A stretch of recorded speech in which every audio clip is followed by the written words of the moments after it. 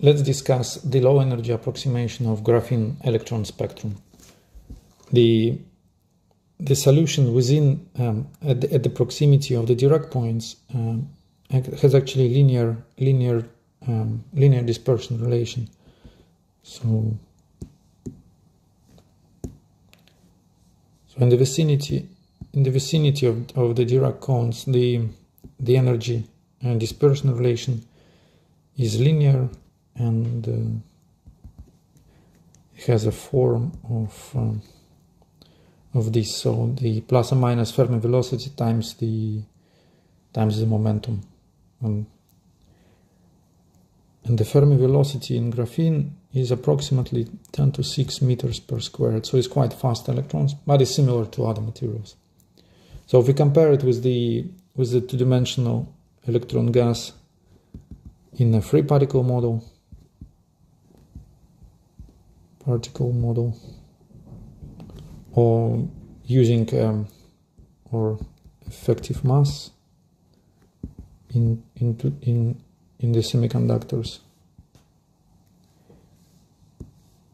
In two-dimensional quantum well in semiconductors. You will, we will have um, draw this uh, kx ky this will be the energy scale you will have a parabolic spectrum with the band gap opened there so this will be filled with electrons this is empty and we will have the energy at the conduction band equals this um, the ground state energy minus the dispersion part p squared over 2m conduction star. So you have this effective mass. They can be different curvatures. Again, and for the valence band, it's then the the offset for the valence band, the, its ground state minus p square over 2m valence star. And, and, and in the case of graphene, so if we draw the same kx, ky. So the energy scale, have this famous, uh, uh, let me use a different color, Dirac cones. So we have a linear dispersion relation, the conical, conical behavior there. So the energy spectrum is plus or minus h bar vf key same as uh, plus or minus VFP. Uh, and that's where this um, the ideas of relativistic particles come from. So if we if we look at the Einstein's equation, uh, we have this famous one m0 c squared, but that's for the particle at rest, so the momentum was zero. So for this is particle at rest and uh, the the correct equation is then the square root of m0c squared squared plus the cp squared. And that's for the particle particle in motion. And for massless particles,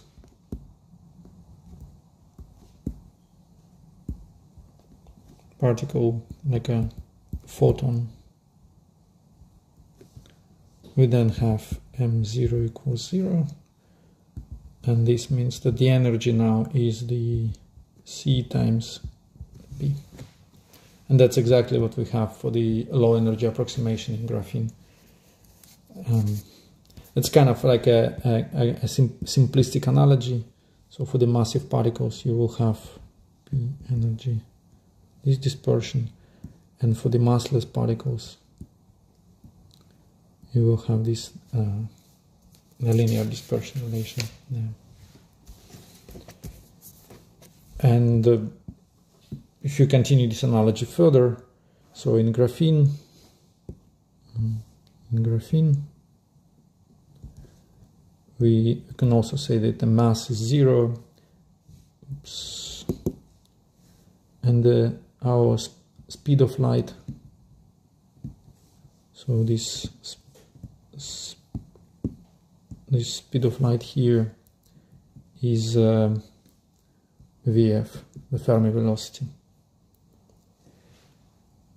And more, more rigorously, actually, um, the solution of the um, of the low energy Hamiltonian in a continuous regime um, gives you something which is uh, very much uh, the same as the Dirac solution to Klein-Gordon equation. And it leads to also to a two-component wave function.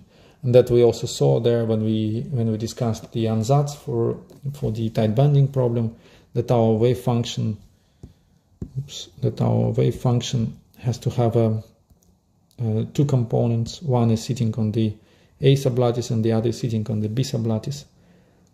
And uh, because it, it has the same shape as this Dirac solution to the Klein-Gordon equation, there's also similar properties which we will discuss uh, further. Uh, namely, those are the chirality, chirality and uh, pseudospin